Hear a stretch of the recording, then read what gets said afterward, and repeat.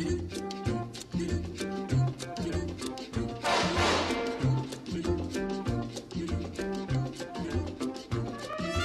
was a rescued street orphan. I found him on the side of the road, and it was late at night, and I was trying to find gas and coffee on the outskirts of town. And um, it was strange. I got lost, and I was like turning around, and I was so tired, and I, I my headlights while I was turning around caught this little tuft of fluff on the side of the road, and um, you know I thought it might be like a, a shipwrecked alien or something. but uh, I got out to inspect, and he it was it was really a, a very um, I don't know how we could call it almost a mystical encounter because Yeah. he he like hobbled into my arms in the glow of my headlights like he'd been waiting for me there. And he was like ear he had ear infections and mouth infections and he had was flea ridden and real mangy.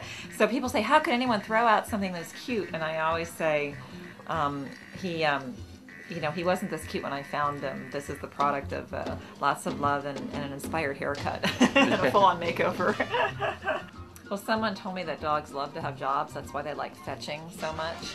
Um, and he doesn't fetch, but he somehow senses that he knows it's his job to pose. So he just really gets into it. And, you know, and his, all he asks for compensation is a fresh piece of chicken.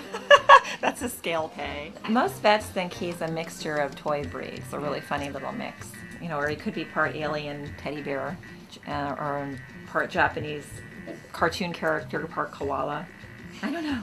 You can like literally like put him in a pose like that, and he'll hold it for enough time to get off a few frames. You know what I mean? he usually holds it even longer than that. Yeah. yeah. See. Yeah. He, we do a lot of charity events to raise money for animal causes, and those are always full of celebrities, and uh, you know. Um, uh, so, so he's he's uh, he's taken, and everyone wants their picture with him. And in fact, at his book signings, um, you know, uh, the president's daughter, uh, you know, Patti Davis, waited in line for three hours to get a book for Nancy Reagan. Um, and I can just picture, like, you know, Nancy sitting there with Ronnie looking through the book. and uh, yeah, and he's uh, Rosie O'Donnell, and he was a guest star in Sex and the City, and he had a scene with Sarah Jessica Parker. Um, and it was based on uh, the producer heard that he, he gets like five, six hundred people coming to his book signings in real life. That happens, and so he thought it would be really funny if when Carrie had her first book signing and she was all excited and she thought everyone was waiting for her, and her agent was there and breaks it to her, "Honey, I hate to break it to you, but you know, you know they're here for Mr. Winkle. You're the warm-up author."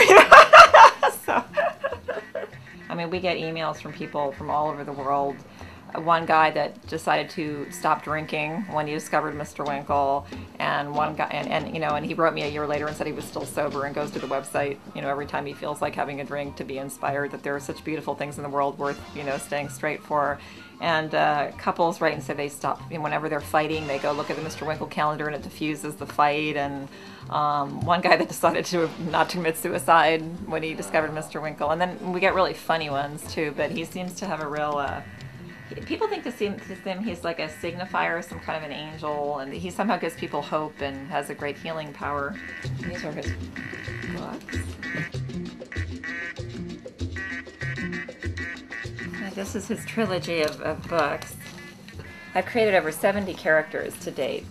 And these are also what inspired the calendars too. But I, what I, I'm fascinated by his chameleon like appearance and how many things he looks like. It's almost like he's not a dog. It's almost like he represents all the cute creatures of the world. He's a a bumble bear. A bumble bear. Uh, he has a tail like a squirrel. His body is very much like a camel. A lion. You put a little mane on him, he looks just like a lion. There he is with his kill. A, an ancient koala. A snowy seal. Um, a hamster with a perm. There's another animal. A hamster with a hairdo. And the stuffed animal, that's the first one I ever did because that's the biggest reaction I get from people. They say, Is that a stuffed animal you're holding? I think I'm a deranged woman walking around with a stuffed animal. This is one of his best friends, Wheelie Willie, who has back a wheelchair for back legs because his legs don't work.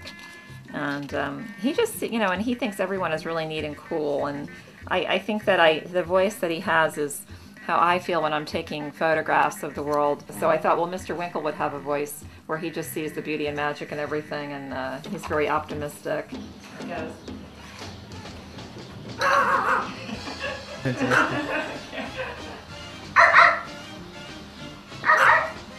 he's like.